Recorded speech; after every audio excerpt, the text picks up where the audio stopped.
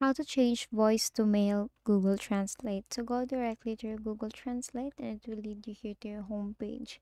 Now if you type in here and and it will look like this. Now on the and before we really start, you cannot actually change your voice to male when it comes to Google Translate. So it actually depends on what region.